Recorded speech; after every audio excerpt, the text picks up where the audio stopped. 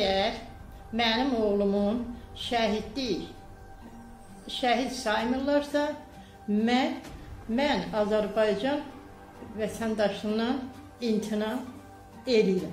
Kanalımıza müraciət edən Gəncə şəhər sakini Qaratil Rəhimova bildirir ki, onun şəhid olmuş oğlunun şəhidlik statusu ləğv edilib. Bunu Gəncə şəhər inzibati və Gəncə şəhər apellyasiya məhkəməsi edib.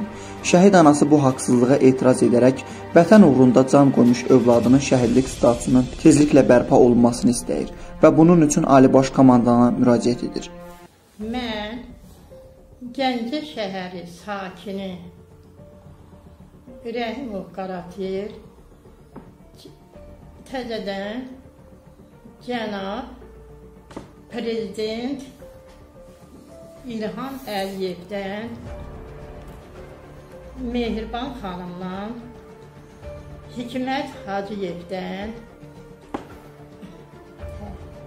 oğlumun şəhidlik statüsünün bərpasına köməklik istəkli istəyirəm. Gəncə İnzibati Məhkəməsi, Gəncə Apellyasiya Məhkəməsi mənim oğlumun şəhidlik statüsünü vermirlər. Mən bir ildir icra başçısının Bayramovun qəbuluna getdim, məni qəbul eləmədi. Müşfiq Cəfərovun qəbul elədi, amma bu işlə maraqlanmadı. Mən bir şəhid anası kimi cənab prezidentdə Mehriban xanımdan Hikmət Hacıyevdən oğlumun dil statüsünün bərpasına kömək köməklik istəyirəm.